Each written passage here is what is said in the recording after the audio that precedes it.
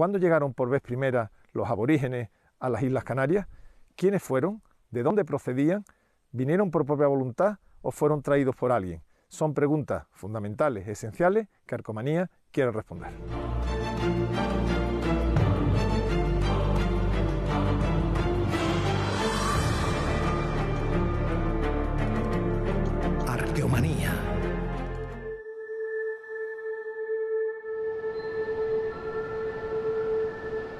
Desde la antigüedad se hablaba de las cadenas del océano, del mar tenebroso.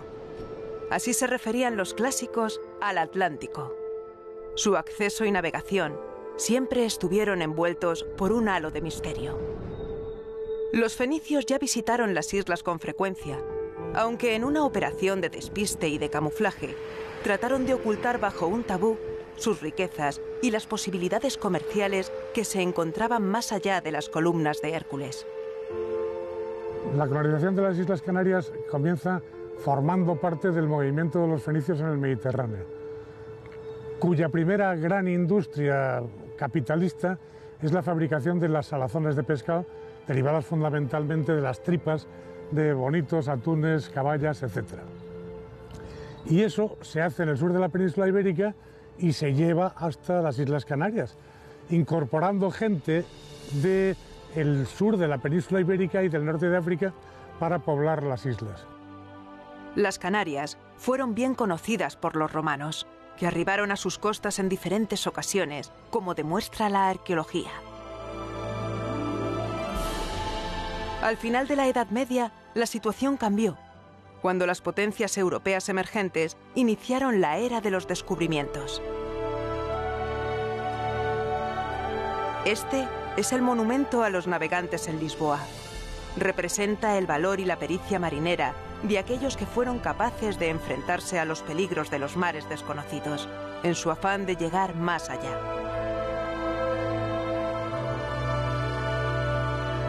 Todas las flotas armadas del Mediterráneo, desde la turca a la veneciana, pasando por la castellana y la portuguesa, ambicionaron la exploración del mar tenebroso, del Océano Atlántico. Las Islas Canarias, las Islas Afortunadas, Górgades o Espérides, como eran conocidas desde la antigüedad, fueron un primer paso en la conquista del océano inmenso. Tengo a mis espaldas los grabados rupestres de Fuente de la Zarza, uno de los lugares más sagrados de toda la arqueología de La Palma. ¿Por qué? Pues lo habla el lugar, esta frondosa laurisilva, con tilos, con laureles, estas brumas permanentes, nos hablan de ese mundo mágico para los primeros pobladores de La Palma que vamos a conocer. Las culturas aborígenes palmeras grabaron hermosas composiciones de espirales, de círculos, semicírculos y meandriformes sobre las paredes lisas del Caboco. Este Caboco de Fuente de la Zarza me ha parecido un lugar mágico. Ese camino que hemos hecho, abrazado por la laurisilva, la, bruma, la, la humedad que nos rodea, ¿Qué pudo significar este lugar para los primeros pobladores de La Palma? Estamos sobre, situados a 1200 metros, aquí es justo donde choca el Alicio entonces, si hay algo que es aquí permanente, e, es, la, humedad, la bruma que tenemos, ah, la lluvia finita o chirizo. Entonces, esto es, evidentemente, era un santuario para los benavaritas. Los poblados de cuevas donde vivía están a kilómetros hacia el mar. Entonces, aquí venían seguramente eh, eh, en verano a realizar algún tipo de eh, ritos mágicos religiosos donde tiene mucha importancia los ritos propiciatorios de lluvia. Si aquí sobresale, destaca algo es el agua, la vegetación, la humedad, la, exuberancia, la frondosidad del mundo. Pero no solamente es naturaleza, esta naturaleza maravillosa, sino también es arte, ¿no? Estos cabocos eh, están completamente repletos de, estas espirales, estas formas tan eh, mm. peculiares. E, efectivamente, de hecho, esta es, desde el punto de vista estético, visual, es la estación más bonita y, una de las más importantes de la isla junto con los de la Fajana y el Verde. ¿Qué motivos destacan? Los, pues las espirales, los motivos circuliformes, círculos y semicírculos concéntricos. Nosotros pensamos que está relacionado con el tema del agua, de la lluvia, de la fertilidad, de la fecundidad.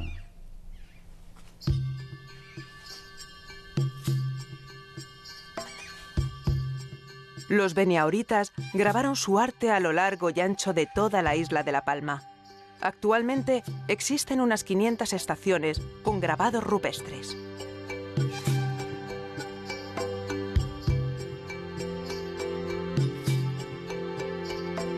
Los petroglifos del Calvario de Santo Domingo muestran formas misteriosas de los primitivos palmeros que se disuelven con un poderoso paisaje marino. Impresionan los roques de Tabaiba, Santo Domingo y Guincho. La belleza del lugar es grandiosa.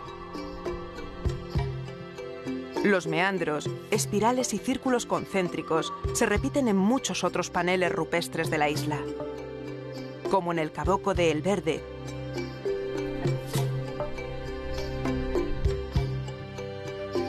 o en la cercana estación de los petroglifos de la Fajana.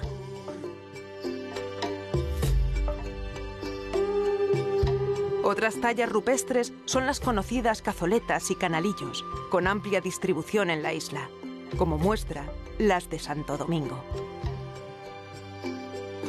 ¿Qué querían expresar los beneauritas con sus alambicados grabados rupestres? No lo sabemos, aunque quizás otras expresiones arqueológicas nos ayuden a conocer mejor a estos esquivos isleños, que no obstante desarrollaron elementos comunes con las poblaciones de las otras islas.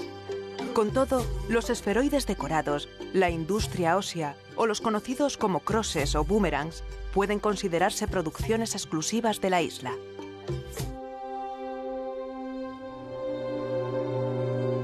Los palmeros eran muy belicosos tal y como los describen las crónicas y como evidencian los restos humanos con contusiones y heridas de diverso tipo. Parece que en años de escasez practicaron el infanticidio ordenado, como también habría sucedido en Gran Canaria. La conquista de la isla de La Palma se incluye en la denominada Conquista Realenga, realizada bajo las órdenes de los reyes católicos. Se culminó el 3 de mayo de 1493 después de la caída del Reino de Granada y del descubrimiento de América. ¿Qué aspecto tuvieron los primitivos canarios? Vamos a viajar hasta la isla de Gran Canaria para conocer el rostro de una mujer, quién sabe si de una sacerdotisa que habitó en el inexpugnable santuario de la fortaleza. La caldera de Tirajana en Gran Canaria es el escenario de nuestra investigación. Estos paisajes sobrecogedores nos van a conducir hasta el aspecto de los primitivos canarios. Un trabajo de arqueología virtual y paleogenética nos pondrá cara a cara con una mujer que vivió en la fortaleza durante el siglo V o VI de nuestra era. Las montañas, para los aborígenes de la isla, eran lugares sagrados por estar más cerca de Acorán, el dios de los cielos. Las crónicas castellanas citan los santuarios de Tirma y Umiaga. Tradicionalmente, la fortaleza se asoció al lugar de Ansite, el último enclave de la resistencia militar de los aborígenes frente a los castellanos. El 29 de abril de 1483, los nativos se rindieron. El yacimiento de la fortaleza es de los, de los más antiguos de Gran Canaria y el que más larga o más dilatado eh, ocupación tiene. Tenemos una datación inicial del siglo V-VI, tenemos dos dataciones de seis más fechas y tenemos una última del siglo XV coetánea a la propia conquista de la isla. O sea, tenemos, alberga todo el, digamos, el espectro cronológico del mundo indígena de Gran Canaria. Las excavaciones arqueológicas realizadas en la fortaleza no muestran evidencias de combates, ni el lugar resulta adecuado para resistir un asedio. La fortaleza no fue un castillo, sino un santuario natural. A sus pies se encontraba un pequeño poblado, desde el que se ascendería a la cima del farallón para realizar los ritos religiosos. Los grabados antropomorfos que jalonan el camino representan a mujeres, con su típica túnica, y a hombres, lo que nos remite a un culto que bien pudiera haber sido dirigido por sacerdotes o sacerdotisas, quizás por las célebres mauguadas,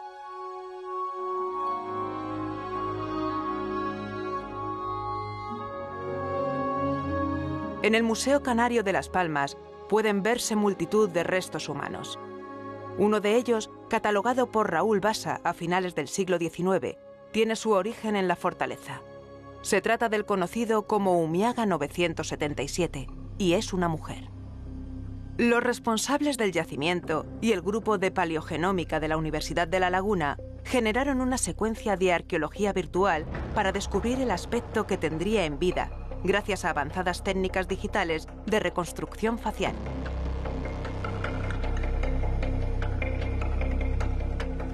Lo primero era extraer ADN. Gracias a la secuenciación genética, se obtuvieron caracteres tan importantes como el color de la piel, de los ojos y del pelo. Después, los marcadores de expresión facial y el desarrollo de los músculos y la piel permitirían reconstruir el rostro de la desconocida Umiaga 977.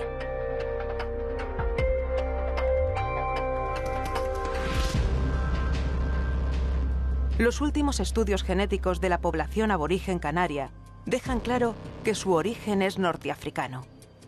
El ADN mitocondrial señala linajes de origen bereber. A su vez, estas poblaciones norteafricanas muestran influencias de genes mediterráneos desde la edad del cobre hasta los romanos. No obstante, también se ha detectado material genético de euroasiáticos, subsaharianos y amerindios en la población moderna de las islas, un verdadero mosaico. A pesar del aislamiento, tuvo que existir al menos un mínimo intercambio de población para superar los graves problemas que hubiera acarreado la endogamia extrema. Tampoco hay que pasar por alto un hecho. En cada isla se observan procesos de aportación de poblaciones en diferentes momentos históricos. Esto nos deja ante un escenario complejo de colonización.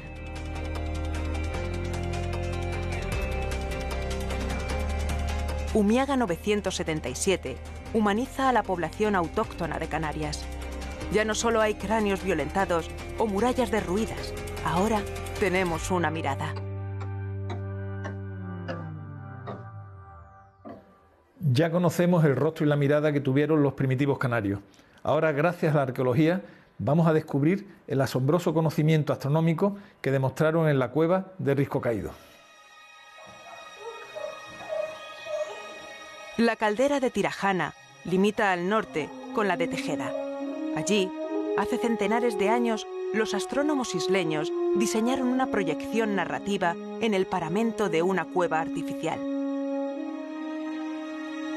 Durante seis meses, el Sol escribe un relato sobre esta pared, de equinoccio a equinoccio, mientras la fase previa al solsticio nos deja a la luz de la luna iluminando la cueva. El prodigio es único y demuestra el fuerte vínculo de los canarios prehispánicos con la astronomía y con los ciclos estacionales.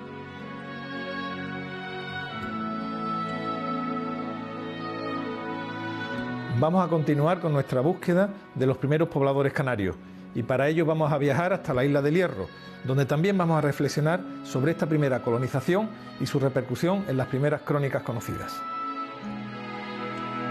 La isla del Hierro fue considerada como el meridiano cero hasta que en 1885 se estableció en Greenwich. Y en ella se encuentra el punto más occidental de las Canarias y de toda España. La primera isla se llama Hombrios, sin huellas de habitación, que tiene en las montañas un estanque y árboles semejantes a la férula, de los cuales se extrae agua amarga de los negros y agradable al gusto de los blancos. Esta cita se atribuye a Plinio el Viejo o a Juba, rey de Mauritania. En cualquier caso, una referencia textual del comienzo de la era cristiana. Hay autores que defienden que se refiere a las islas salvajes. Otros relacionan esos estanques y los árboles con el garoé, el árbol sagrado de los bimbapes del hierro. La laurisilva de El Hierro es un bosque inesperado. El Hierro es puro desierto volcánico y vida desatada en los dominios de la bruma. Sequedad absoluta en la costa, agua difusa del cielo en las cumbres. Y desde el Hierro volvemos a cuestionarnos por los misterios de la historia de las Islas Canarias, conocidas desde antiguo, pero siempre esquivas. Es probable que los gadeiros, que los gaditanos que promovieron un emporio en Mogador, en la costa atlántica del actual Marruecos, tuvieran que ver con este conocimiento. Purpurarias, afortunadas, atlánticas siempre. El laberinto canario es el de sus fuentes escritas, el de las interpolaciones de cronistas que nunca lanzaron un cabo o izaron una vela latina. Este es un problema frecuente con las fuentes clásicas. Muchos escritores hablan de oídas o compilan textos. Pocos han estado sobre el terreno. Quizás Juba sí, o al menos algún marino que le sirviera con devoción. Para algunos autores, su periplo por las Canarias tiene visos de ser cierto. Para otros, ninguna fuente antigua ofrece pruebas sólidas. Para este grupo de autores, la llegada de los primeros pobladores canarios respondería a un modelo polinesio, es decir, de pueblos que habrían llegado por sus propios medios. Pero, ¿por qué emigraron hasta las Canarias? ¿Se arriesga un pueblo entero a abandonar su hogar para aventurarse en las procelosas aguas del océano tenebroso? Puede que hasta el mismo Alejandro conociera la existencia de nuestras islas afortunadas. Los marineros de Gadir, que dominaban la navegación en aguas abiertas, pudieron transmitir el relato. Otros afirman que fueron los nautas de Tiro o los griegos. Aunque estos últimos parece que únicamente dominaban el cabotaje. Saben los lobos de mar que desde el Golfo de Cádiz la corriente puede empujarte hasta las Canarias. El barco grabado en la lava volcánica del Hierro deja clara una de las llaves maestras del misterio, la navegación. Las primeras llegadas a Canarias son aún enigmas de la historia de la navegación, de exilios, de capacidad técnica, de cartas náuticas, de periplos. Me encuentro en el Hierro, la isla más occidental del archipiélago canario. A mis espaldas está el garoé, el árbol santo, un árbol considerado como sagrado por los bimbapes, los aborígenes de esta isla. ¿Por qué? Pues porque destilaba el agua de esta bruma en un lugar realmente seco. El garoé crece en el corazón de la isla, a unos mil metros de altura, en la aldea de Tiñor, en San Andrés. Las crónicas hablan de un árbol gigantesco que los aborígenes adoraban porque les proporcionaba agua dulce, un tesoro de incalculable valor en unas latitudes tan áridas. El árbol, centenario, alcanzó proporciones colosales. Pigafetta, el cronista de Magallanes y Elcano durante la primera vuelta al mundo, habló del Garoé en sus textos. En épocas áridas era el único manantial de agua potable. Cuenta una vieja leyenda que los aborígenes guardaban celosamente su secreto. Los conquistadores europeos morían de sed, mientras que a sus enemigos no les faltaba el agua. Una joven bimbape, Agarfa, se enamoró de un soldado andaluz, al que terminaría desvelándole el milagro del Garoé. Ahí acabó la ventaja de los bimbapes. El origen bereber de la población aborigen canaria se demuestra con el uso de una primitiva escritura líbico-bereber, que podemos encontrar en muchas rocas de las islas, especialmente en la isla del Hierro. En el Caboco de la Candía se puede contemplar una rica muestra de escritura líbico-bereber. Mientras aterrizan los aviones, mientras la calma impera en este suelo mil veces roto y mil veces elevado por los volcanes, observamos las muestras claras de escritura. Es una de las cosas que llama la atención aquí en la isla del Hierro, ¿no? En teoría es una isla eh, pobre, árida, con menos recursos que otras, por tanto tuvo que albergar menos población. Y sin embargo sorprenden estos paneles de, escritura, ¿no? Sí, eh, la riqueza principal de, la arqueología reña son los grabados rupestres, eh, asociados principalmente a la escritura líbico-bereber norteafricana. Existen en la actualidad 24 yacimientos aborígenes, de los que 20 eh, son mm, contextos líbico-bereber. ¿no? hay un alto porcentaje de, de inscripciones líbicas. En total tenemos unas 200 líneas escriturarias del líbico bereber, en la isla de Canarias que más, que más inscripciones tiene. ¿Se ha comprobado si estas grafías corresponden a la escritura líbico bereber de alguna zona concreta del Magreb, del Sáhara, del norte de África? Todavía no hay conclusiones. Sé que se han estado haciendo desde hace años em, estudios comparativos para saber eh, determinados signos que aparecen en unas islas y no aparecen en otras eh, y su relación con el norte de África con determinados lugares, que es lo que daría lugar a, saber exactamente el origen de, de cada una de las tribus que pobló Canarias.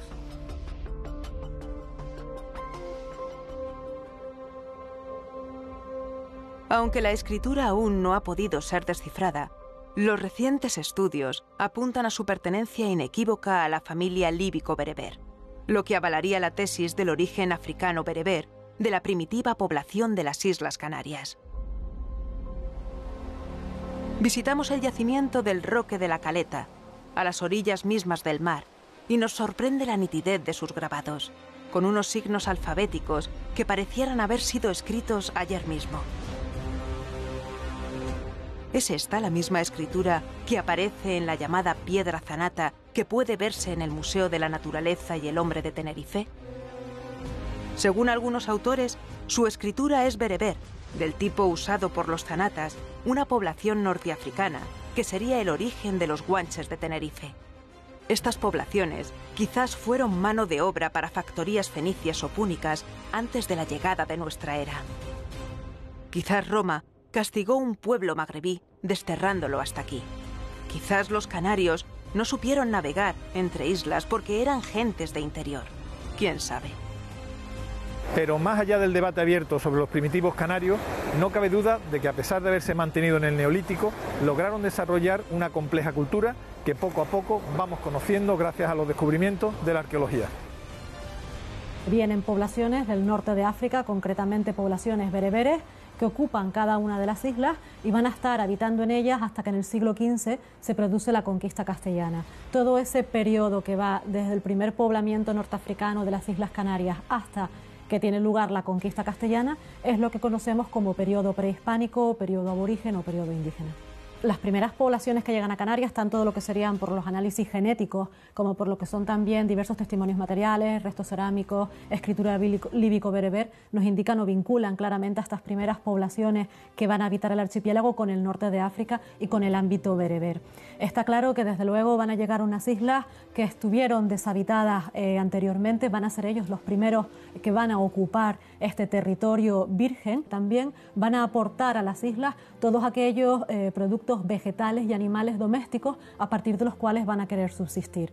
Ello claramente nos está indicando que existe una intención de colonizar las islas por parte de estas poblaciones. Ese ganado eh, llega primero a las islas orientales y que va a ir ocupando isla a isla progresivamente eh, el resto del archipiélago y que solamente se produce esa primera arribada de, ganado doméstico, el única arribada y que después no hay nuevas llegadas de, ganadería, ¿no? Cual nos indica que las siguientes oleadas bueno, de población vendrían, por así decirlo, solamente serían aportes humanos. Estas poblaciones cuando llegan aquí, quizá en una primera arribada que toca todas las islas, no podemos descartar que haya arribadas que llegan solamente a algunas islas, bueno, pues por la razón que fuera, sí conocían la técnica de navegación, si llegaron por sus propios medios y no traídos por navegantes, que es una opción que también barajamos, perdieron esa técnica de navegación. Da la impresión que a partir de un origen de un tronco seguramente común, cada isla funciona de una manera independiente. Hoy en día la genética está aportando mucho a esos estudios. Sabemos que el norte de África es la cuna, pero el norte de África es muy grande. No sabemos de qué zona. Son conciencias que conocen al mundo romano, conocen, han conocido el mundo púnico, conocen los metales.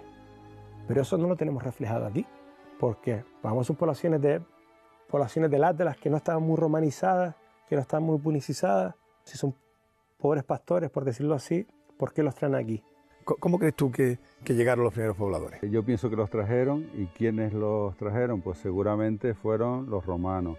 Y la fecha más probable eh, sería eh, en el último cuarto del siglo I antes de Cristo y a lo largo de todo el siglo I antes de Cristo. En La Palma se plantean dos grandes eh, migraciones. Esta primera, la primera arribada en torno al cambio de era, y luego en torno al siglo IX, X después de Cristo, da la impresión de que hubo otra arribada de gente. ¿Y las poblaciones de cada una de las islas se mezclaron entre sí? Las fuentes históricas dicen que no. Los análisis o la investigación en torno al registro arqueológico de cada una de las islas nos está indicando que una vez van a ser pobladas cada una de ellas, se produce un aislamiento absoluto, no solamente con los lugares de orígenes, con lo que sería el norte de África, sino también un aislamiento entre cada una de las islas. Y cada una de esas poblaciones que vienen del norte de África y que va a habitar el archipiélago, al permanecer aislado, va a tener un desarrollo histórico completamente diferente en cada una de las islas del archipiélago.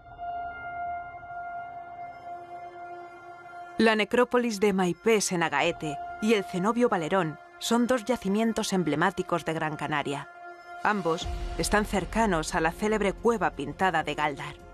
Probablemente no hay mejor escenario que la cueva pintada para comprender el encuentro de dos mundos, el de los conquistadores castellanos y los nativos canarios. Lo que se contempla ahora bajo esta, esta um, instalación museística es una parte de lo que en su momento fue un poblado eh, indígena o prehispánico muy importante en la isla Gran Canaria, es el poblado, el asentamiento de Galdar, que fue un lugar central del mundo indígena prehispánico en la medida que pasaba por ser el momento final del poblamiento nativo, eh, una suerte de capital política y religiosa de toda la isla. Lo que hay aquí es un barrio, un caserío de lo que fuese gran poblado indígena. Si palacios había, entre comillas, lo más parecido a un palacio que hoy conocemos es la cueva pintada, el complejo de la cueva y su cámara decorada, que efectivamente tiene una decoración excepcional. Las Canarias hoy, como ya fueran bautizadas por los romanos hace 2000 años, continúan siendo las Islas Afortunadas, pero bajo la luz de su paraíso se ocultaba el misterio del origen de sus primeros pobladores. Hoy, gracias a la arqueología, hemos podido desvelar las sombras que cubrían el periplo de los primeros pueblos que la colonizaron.